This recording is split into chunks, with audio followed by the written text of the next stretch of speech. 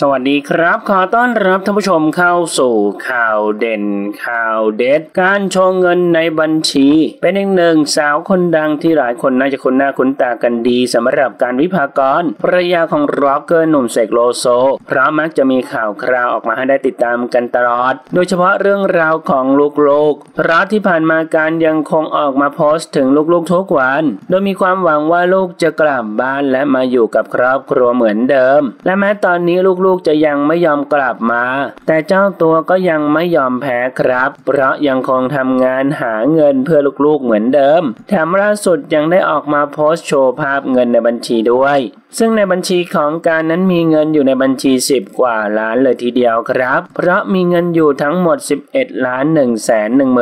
11,198 บาท 34 สตางค์งานนี้หลังจากที่ออกมาโชว์เงินในบัญชี กานต์ก็ได้ออกมาโพสต์แคปชั่นถึงลูกด้วย โดยเจ้าตัวได้ระบุข้อความว่าไม่หมิ่นเงินน้อย ไม่คอยวาสนา ค่อยๆ ปั้นให้ได้เยอะๆ เหมือนเดิม เอาไว้ให้ลูกๆจะได้ไม่ลำบากทั้ง 3 คนของแม่ ให้มันรู้กันไปว่าว่าทำงานหนักสุดจะตายไหมที่สำคัญจะสื่อคือเลขเด็ดเลขสวยมาก ชอบเลขหนึ่งที่สุดเลยอีอีเอาเป็นว่ายังไงก็เป็นกำลังใจให้กับครอบครัวนี้ด้วยแล้วกันนะครับ ไม่รู้เหมือนกันว่าลูกๆจะยอมใจอ่อนกลับมาเป็นครอบครัวเหมือนเดิมหรือเปล่า แต่ยังไงก็หวังว่าวันหนึ่งแม่ลูกจะมีโอกาสได้เคลียร์ใจและแก้ไขเรื่องที่ผิดพลาดกันครับ ท่านผู้ชมละครับ มีความคิดเห็นอย่างไรกับเรื่องนี้ลองแสดงความคิดเห็นกันเข้ามาดูนะครับ ขอขอบคุณข้อมูลจากขอบข่าวขอบคุณครับ